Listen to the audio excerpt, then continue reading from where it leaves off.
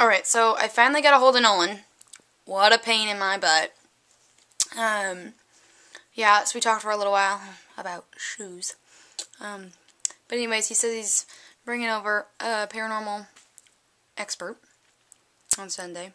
Hopefully that goes better than last time. Jeez, that was awful. What a joke. Like, really. I mean, like, you all thought that was a joke, right? I mean, that was ridiculous. Um, yeah, so, shoes, Nolan, mm, expert dude. Yeah, I think that was everything. That's all I had to cover. Cool. Awesome. See you then. If you're good, I might record it. If you guys are awful and mean, then no, you're out of luck. This is the special, special occasion, so you know. Just go with it.